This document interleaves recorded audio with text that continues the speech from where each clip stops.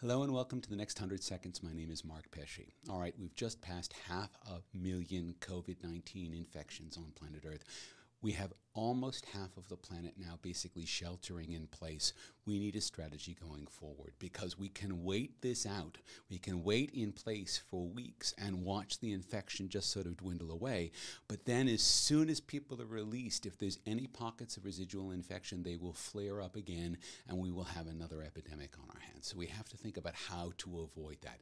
The way we need to avoid that is by building up a massive testing facility. We need to be able to test people everywhere all the time so that we can catch every outbreak and nip it in the bud and keep everything under control for as long as it takes until there is a vaccine. That means that as we shelter in place, we need to start thinking about building up industrial capacity to do testing on an exponential level.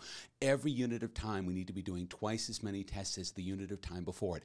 I don't want to hear a single person on the planet ever saying, I couldn't get a test. In fact, we should be offering you tests even when you don't want tests. There should be that many tests everywhere in India, in Indonesia, in Australia, in America, everywhere. We we need that level of testing. So we now need to start to think about exponential production. How can we create the facilities that are distributed, that are global, that are appropriate to the technology, and what's available in local resources to be able to build out a testing facility that can handle a half billion tests a day because that's where we're going to need to be and we're going to need to be there within the next couple of months or we will be sheltering in place until further notice and that is 100 seconds